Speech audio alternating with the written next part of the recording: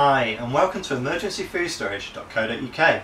Today we're doing a short video on the boxes and how you'll receive them and how they're packaged. We have three sizes of boxes, the large, medium and small.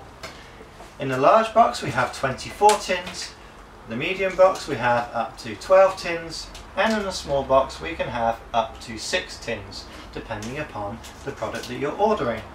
We can have them in branded or unbranded and the large boxes are and the medium boxes are double walled and double lined to protect the product as much as possible.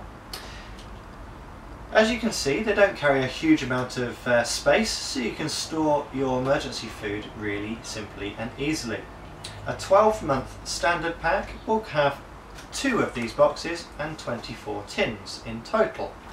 A 12 month deluxe pack will have three of these boxes which contains 36 tins in total. My maths is not right. And the medium box, which carries a three month supply, will carry 12 tins. We hope this has been useful for you, so to be able to see and visualise the size of the boxes before you purchase. For more information, please go to emergencyfoodstorage.co.uk or give us a call. Thank you.